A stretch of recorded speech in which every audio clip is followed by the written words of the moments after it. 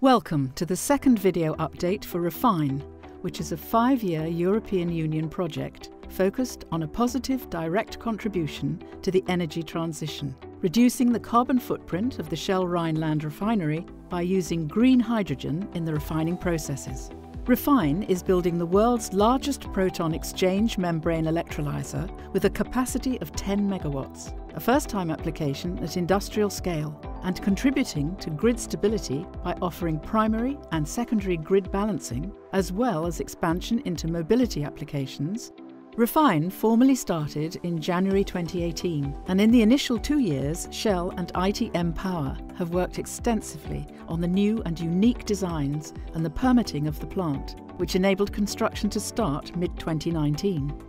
The first of kind designs required for this project included not only new designs for an electrolyser at this scale, but also a purpose built building in an industrial environment. The design of the electrolyser package followed a three-stage process, each of which required the approval of Shell technical experts, following a comprehensive and detailed check and review process. ITM Power designed an electrolyser module which is capable of accepting up to 2 megawatts of electrical power. Each module is made up of three PEM electrolyser stacks and is able to produce hydrogen up to 20 bar pressure. There are five of these modules working together in order to offer the 10 megawatt capacity which is required in the REFHYNE project. Many suppliers from across Europe have been used, ensuring REFHYNE draws on European expertise and services. Once the designs were approved, work could start on the permitting process. The process and plant designs were required for the permit application document pack. The groundbreaking ceremony was held at the Wesseling refinery on the 25th of June and marked a major milestone in the project implementation. Once the construction permit was granted, the construction work could be started in mid 2019.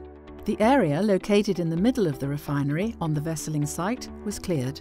The construction started with laying the foundation plate, installing two large cranes before the building could be erected. Over time, the shape of the building could be seen reflecting the layout designs.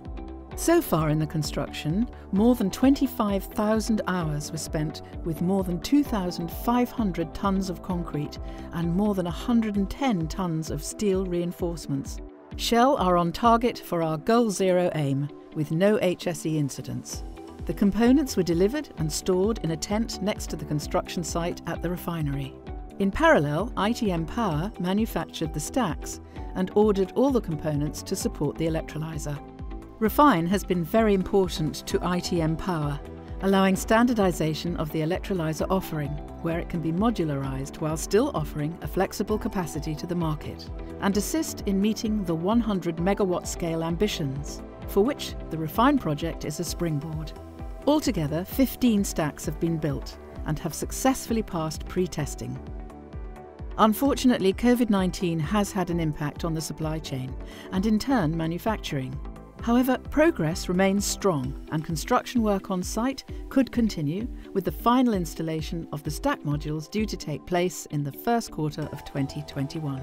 Despite COVID 19, Shell could host a high calibre visit.